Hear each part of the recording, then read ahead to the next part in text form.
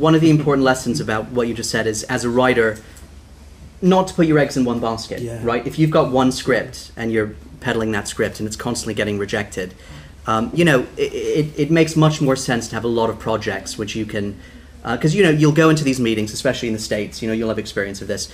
You'll you'll go and meet an executive and they'll say, "So what? What do you got? You know, what do you got?" and you you know, you'll pitch them this great idea, and you, they'll have this kind of blank look on their face, completely disinterested. And I think you have to be ready to say, "Okay, well." you know, you have to be able to read the room um, uh, and, and move swiftly on to the next project and, until eventually say, oh yeah, I like that idea. Send me that script. Uh, have you had experience with that?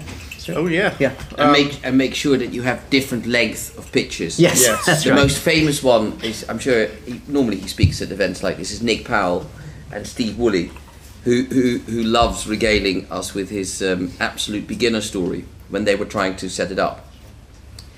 And uh, he said it's happened both ways, where they were meeting, you know, the head of a studio, and they thought literally they would get five minutes, and when they heard what it was about, they would get chucked out. And somehow this guy said, "Right, I've cleared the morning for you." Uh, I, you know, and, and uh, you know, because I really love England and I'm really up for this, you know, blah blah blah blah blah. And they literally had a pitch that was only five minutes and didn't know how to fill between the two of them 45 minutes, you know. And the reverse is also true, where somebody says, "Look, I'm really sorry, I'm just about to get, you know, probably get fired, so I've got to run to the commissary or somewhere, walk with me, and you have two and a half minutes, and if you have an hour pitch, then that doesn't work." I, I uh, on, on the rare occasions when I feel like executives are zoning out of my fantastic pitches, I just generally raise my voice and speed up and go, and bam! And then suddenly they're back again.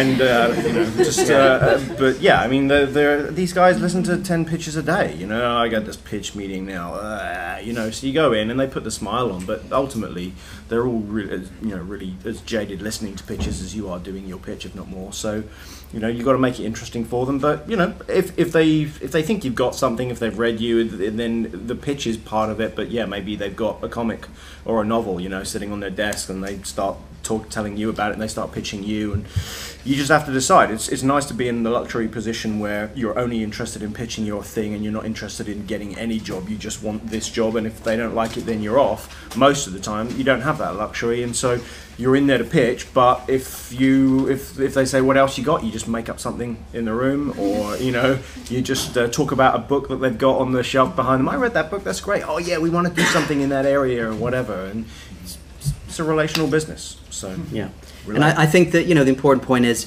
once you've finished a script, um, it, it, it's not a time to rest. You know, as Paul said, just keep writing. You know, um, once you finish that script, start something else. Keep generating work. So you you've built a body of work. I think that's extremely important. Um,